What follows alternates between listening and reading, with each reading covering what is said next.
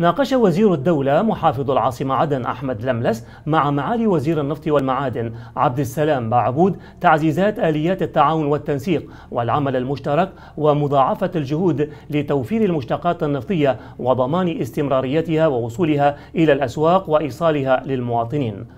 ووقف اللقاء أمام مختلف الأوضاع والمستجدات والتحديات التي تواجه النفط مشيرين إلى أن المشتقات النفطية متوافرة وأن مكاتب وفروع النفط تعمل باستمرار على تقديم خدماتها رغم الأوضاع الصعبة التي تشهدها البلاد ونتيجة لزيادة سعر البترول التجاري نتيجة ارتفاع قيمة الدولار الأمريكي مقابل الريال اليمني وارتفاع أسعار النفط عالميا.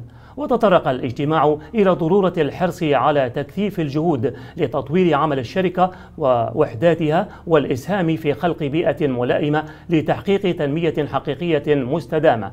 مشيدين على استشعار المسؤولية ومواجهة التحديات الراهنة والعمل على تصحيح الأوضاع وتصحيح مسار العمل لتجنيب العاصمة عدن من الأزمات.